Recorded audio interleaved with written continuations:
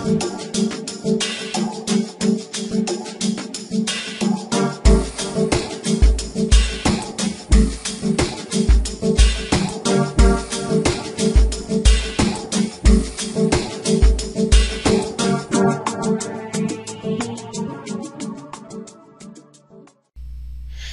everyone, this is Dan Hussey from ElliottWaveForecast.com bringing you our April 21st chart of the day.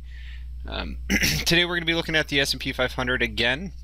Uh, yesterday we talked about how we were going to be looking for that red B wave back in the S&P 500 and just a few days prior we were looking for the rally off the uh, blue X wave low. We've gotten that move up. We're looking for the continuation up in this W X and of course uh, Y move higher.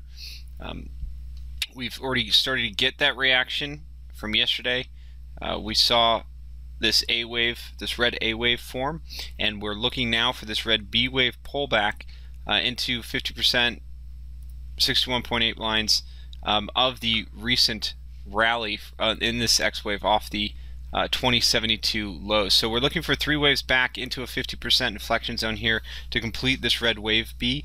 Um, we need a three wave structure to develop. So this could easily be the A wave or the W wave of B here, and we get an X up and then the Y down or A, B, C down, right?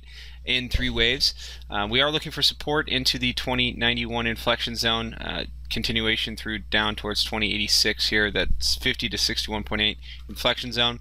From there, we're looking for a rally up and into through new highs uh, towards, you know, ultimately towards 2130s and onwards towards 2150s and above um, eventually. But uh, for right now, we're just looking for this medium to short-term pullback uh, for that medium to short-term rally.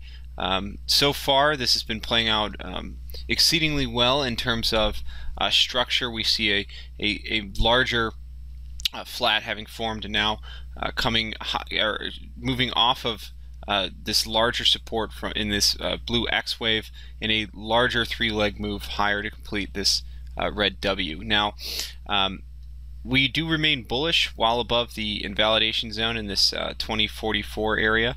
And while we remain above that high and this pivot uh, remains intact we are anticipating the S&P 500 to continue its rally and to continue to find buyers in all 3 7 and 11 uh, dip pullbacks if you will off the highs so uh, with that being said uh, have a great day everybody and we'll be back with you all tomorrow.